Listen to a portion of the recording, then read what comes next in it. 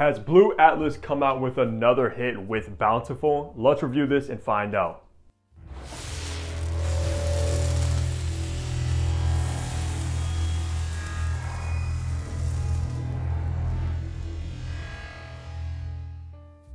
Hey, what's going on? Fragrance Hunter here and welcome back to the channel where I upload weekly fragrance content so you know the drill.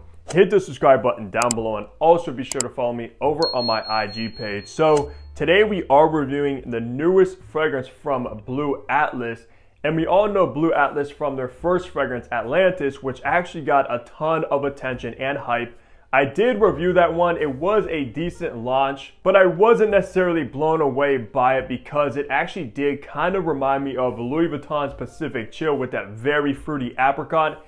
And we all know that's one of my least favorite Louis Vuittons. So it just goes to show you right there. But with the new Bountiful guys, this is a completely different take than what they first did with Atlantis. I also do want to mention that this was sent over by Blu Atlas. Of course, that's not going to change my opinions on this at all. If I like it, I like it. If I don't, I don't.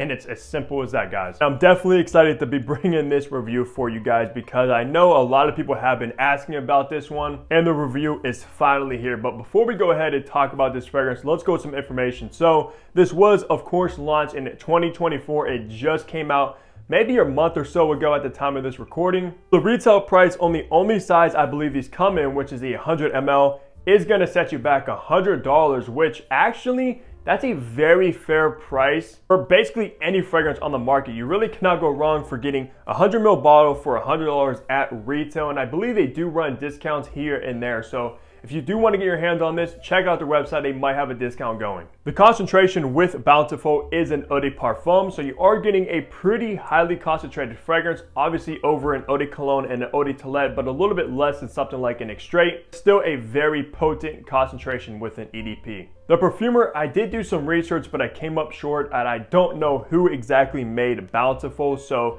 it is unknown as of now. With all that information out of the way, let's look at the packaging and presentation you get with Blu Atlas's Bountiful now. So take a look at the box. It does come in this nice navy blue box. It is cardboard, nothing really going on on the front or the sides. On this side though, you do have Blu Atlas, Bountiful, and some information. On the back, you do have some of your ingredients, barcode to authenticate your product to see when it was produced. There's probably a batch code. And then it opens up like so with a magnet, which is nice. And your bottle is housed in this kind of foam cutout. Very secure. So let's look at the bottle now. All right, so looking at the bottle, you do have the same color scheme as the box with that navy blue. It is see-through on it. If you put it up to a light, you can see through the juice, so you can see your level, which is nice. Blu Atlas, the BA embossed in the glass, bountiful. On the bottom, this time you actually do have a sticker. I know Atlantis came up with nothing on the bottom as well as a batch code, which is a nice touch. Nothing on the back, nothing on the top, nothing inside the cap, nothing on the atomizer, but these are magnetic. Unfortunately, guys, if you do get a bottle though, do not pick it up by the magnet because these are the highest quality and aren't the strongest. So just be careful with that. So that is the bottle presentation.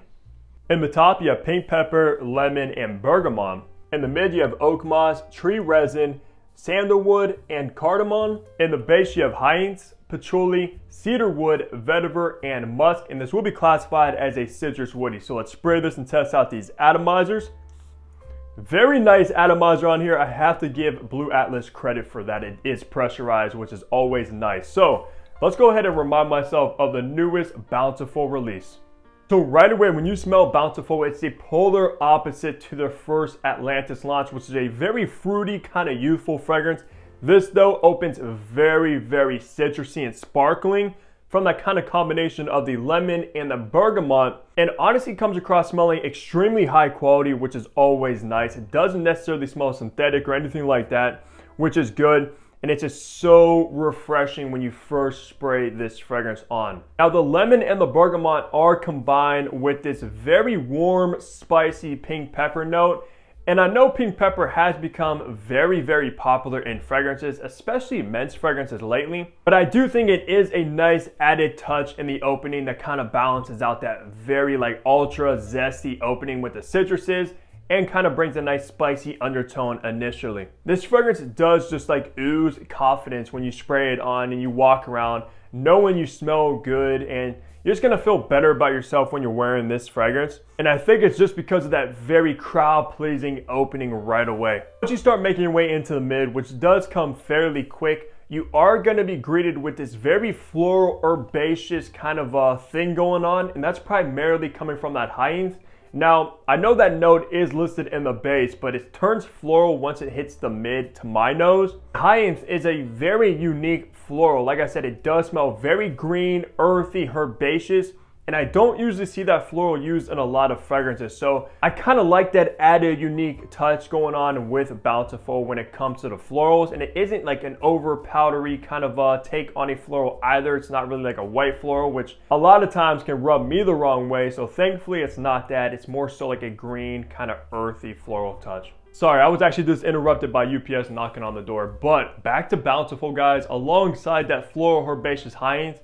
you are gonna have this kind of powdery, woody sandalwood touch going on along with a very earthy oak moss as well, which does give it this kind of masculine touch going on to balance out that floral aspect to it as well. So if you are afraid of florals, do not be afraid of this one because the other notes like the oak moss, some of the resinous qualities as well in the mid and alongside of course that sandalwood woodiness, it does balance out perfectly in the mid of this stuff. Finally making our way into the base of Bountiful is where I think this fragrance is like the signature touch of the entire composition is that base because you are gonna get this very woody, dry, almost dirty, earthy vetiver note going on. So this is kind of like your citrus, vetiver, think of something like Roja Parfums Elysium. Even though it's not even close to Elysium, just gives off that citrus vetiver kind of a genre of fragrance. So I will say you have to be a fan of vetiver to actually enjoy this one because the vetiver is the note that you're gonna be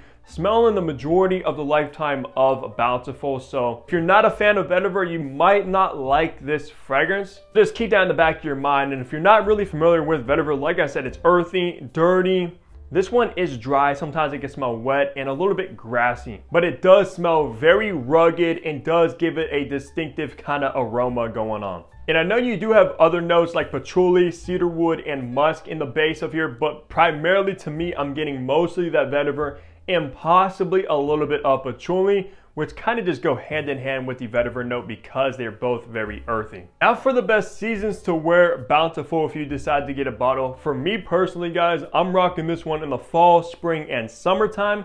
Not necessarily the winter, especially when it gets extremely cold outside. I personally just don't think it has that umph to it. Not many like very, very dark, heavy notes going on either the push to the cold weather.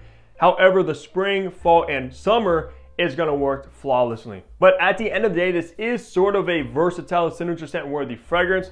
And if you only want to get one fragrance, you could absolutely rock it all four seasons without a problem, but there are better options for the cold winters. Occasion, this is where I respect this fragrance because it's the sort of fragrance where you could dress down in like a hoodie like I'm wearing right now, even like shorts, some jeans, something like that, even a t-shirt, but you can actually dress this one up very nicely in like a formal attire wear maybe a suit, a tuxedo, a button up, going to like a nice event. Of course, if you look at kind of like the marketing behind this one, so definitely picture a more formal kind of fragrance and it definitely gives off a classy, sophisticated vibe about it. Could also be perfect for going on a date, but I kind of picture wearing this one during the daytime rather than nighttime. If you're going to any like classy events during the day, this is gonna be perfect. Atlantis would probably be better for like a night kind of date out because of how fruity it is and maybe even a little bit more sexy than this one. This is just more classy and sophisticated and mature as well. For gender, this is without a doubt a masculine leaning fragrance. I don't smell anything feminine about this at all.